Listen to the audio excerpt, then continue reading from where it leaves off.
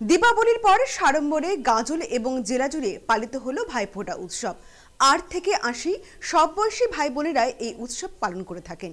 শনিবার মালদা শহরে বিভিন্ন এলাকায় বাড়ি বাড়ি চলে ভাইফোঁটা উৎসব। কোথাও বোনেরা দাদার মাথায় ফোঁটা দিয়ে পায়ে প্রণাম করে দীর্ঘায়ু কামনা করেন। আবার কোথাও দিদিরা ভাইদের একইভাবে মঙ্গল কামনায় চন্দনে ফোঁটা দিয়ে আশীর্বাদ করেন। এর পাশাপাশি চলে ভুরি ভোজের পালা।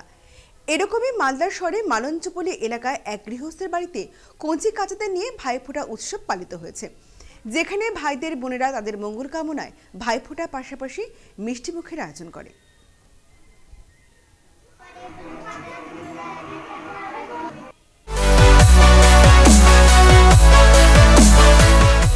আমাদের শক্তি আপনাদের নির্ভরযোগ্যতায়, আমাদের ওই সততা আপনাদের বিশ্বস্ততায়।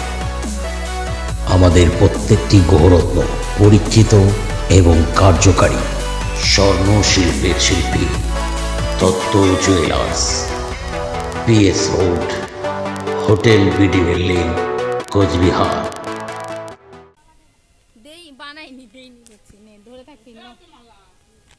এই অনুষ্ঠান করলা?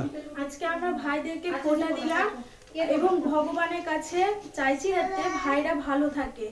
আর আমরা তিন তিন ভাইকে ফোঁটা দিলাম। কীভাবে? মানে কি কি দিলা? কি কি খাওয়ালা?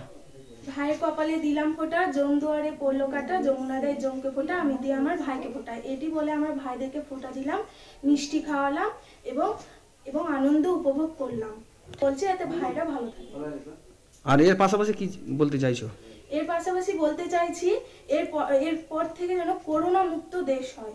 করোনা যাতে তাড়াতাড়ি চলে তোমার নাম? মনীষা